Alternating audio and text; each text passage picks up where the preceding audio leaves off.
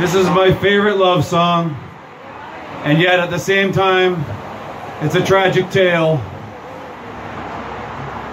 of getting burned. Ring of Fire. Zach, how did you know? Because